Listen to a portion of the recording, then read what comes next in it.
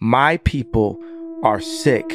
If I load up Apple Music right now and I play the top songs in the rap chart, I would tell you my people are sick.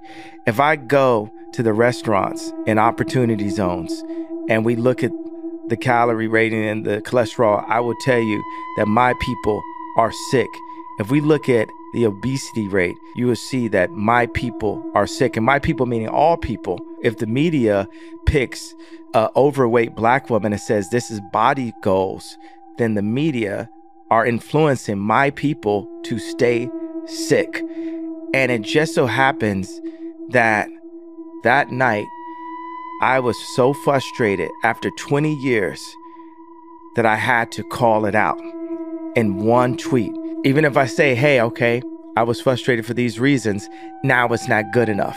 You've literally tried to make me re apologize 10 times in this meeting, re say this, re say that, but it doesn't change the fact that my people are sick, and I'm the only person in my position that will say that my people are sick. Today, not 30 years ago, not 60 years, my people are sick today. 50% of my people's of deaths are abortion today. My people don't have the opportunities today